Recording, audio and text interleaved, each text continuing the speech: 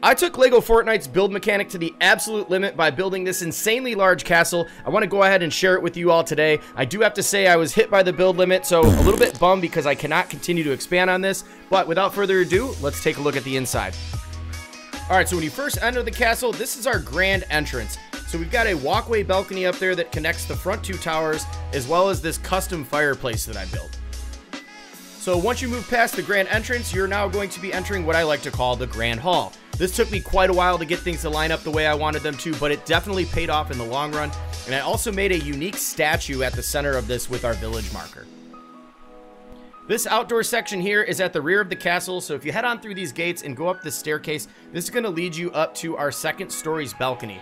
This balcony wraps all the way around the grand hall and connects to a bunch of different rooms, and this front section here where it's going to take you up some stairs and lead you to the balcony that you saw in the grand entrance. Head on over to the left and it'll lead you to a room in one of our front main towers. And heading to the right side will lead you to a staircase which connects to our main bridge that will take you up to a mountaintop with an ice cavern. If you make your way back towards our center tower, there is another bridge that leads to the third story balcony that overlooks our grand hall area.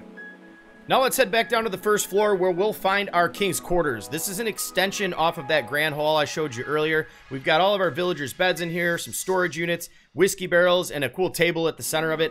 This also leads out into what I want to be our garden area, but as I mentioned before, building is currently disabled, so I'm unable to put all of the plants that I want in there.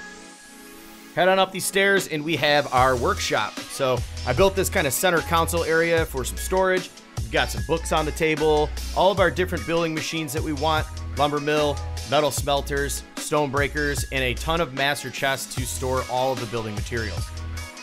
Now on the opposite end of our king's quarters is the kitchen. We've got Polar Peely going to town making some beautiful juice. We've got our oven, we've got the grain mill, and our grill. We also got some countertops in a dining area. On the other side of our kitchen here, I wanted to make this a library, but again, building is disabled. Now on the opposite side of our other garden is another garden area, which I do plan to finish once the building limit is lifted. Now let's get a look from the exterior here. I just really want to showcase some of the cool designs I put together like this bridge and the front entrance here with that staircase. I think it's a really, really aesthetically pleasing look.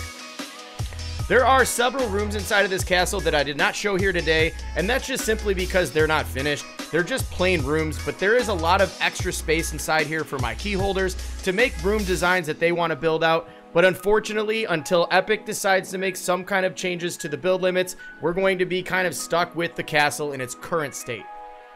Alright everyone, well that does it for today's video. Thanks for tuning in. If you like what you saw here, be sure to smash the like button and subscribe for some more LEGO Fortnite build videos.